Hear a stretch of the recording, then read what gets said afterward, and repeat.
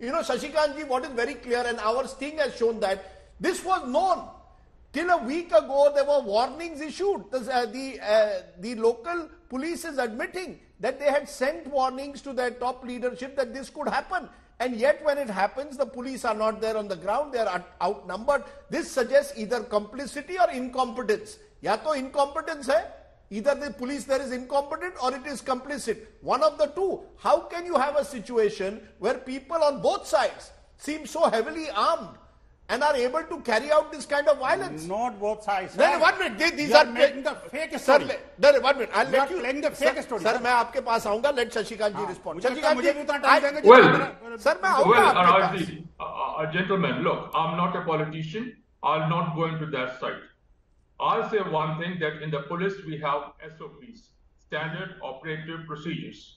And the situation in this particular area has been brewing up since February when these two persons, Nasir and Junaid, were killed. By God knows by whom. I will not go into it. Number one. And secondly, our honorable prime minister has said a number of times that this kind of thing, cow vigilantism or whatever it is, is not permitted. First question is why the local authorities fail to take adequate action in this regard, which has been desired even by the prime minister. What what they're trying to think that uh, the prime minister was wrong on this particular thing, and then coming to this particular issue, for almost two weeks, the social media war was going on like crazy no attempt was made to stop them.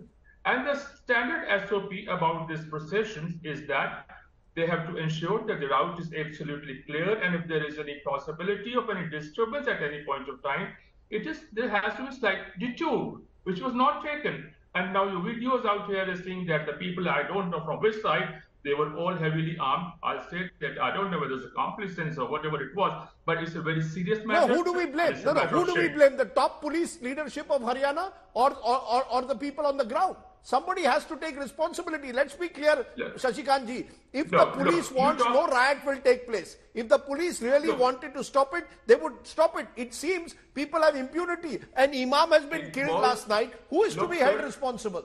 Yeah, look, sir, I have been, I have worked in IB for ages. I know the SOP. Written uh, information is shared with the local authorities at the highest level, not at the level of the SHO or anything. It means that somebody higher up, he just tried to ignore these warnings and didn't take adequate action. No police force, adequate police force was there. It was not ensured that the guys, either from this party or that party, that they were not armed.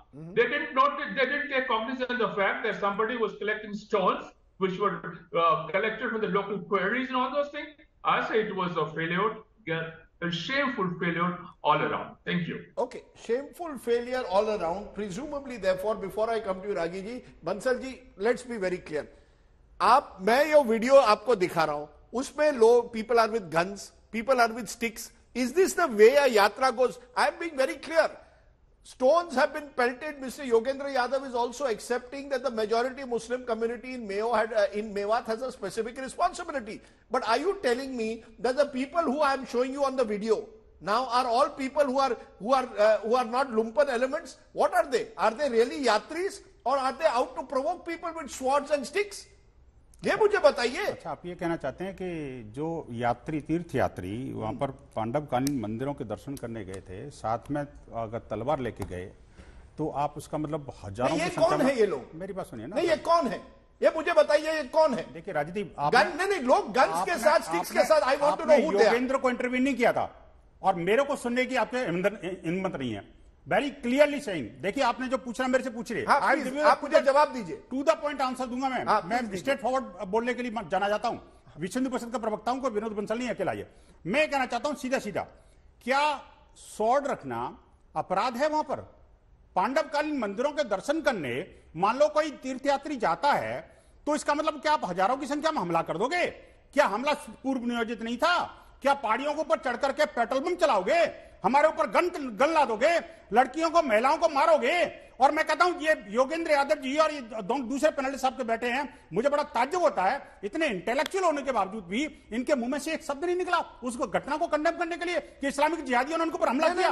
अरे हमले के बारे में शुरुआत भाई आपने आपने शोर तो देख ली आपने कोई राइफल तो देख दी जो लाइसेंस राइफल थी? वो बिना लाइसेंस के चला रहे थे लगातार हमला कर रहे थे। न तो आपके मुँह में से एक जवान निकली sir, I am very sorry to say. और नहीं आपके दोनों पैनलिस्ट ने बोला। लेकिन minute.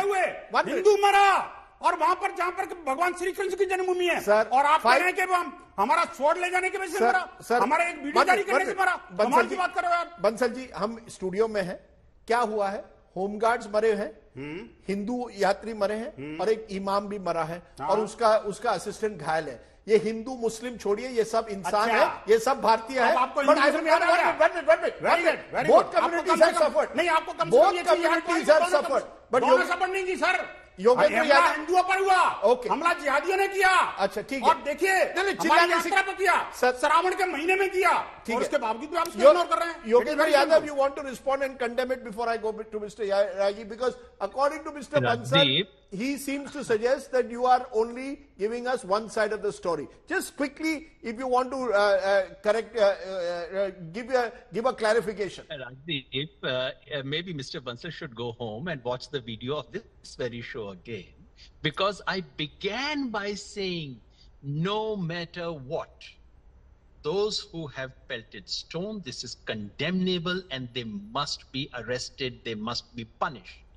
Why do I need to repeat it? I'm Okay. not, I mean, unlike Mr. Owaisi, I'm not sitting here as a representative of the Muslim community or this or that community.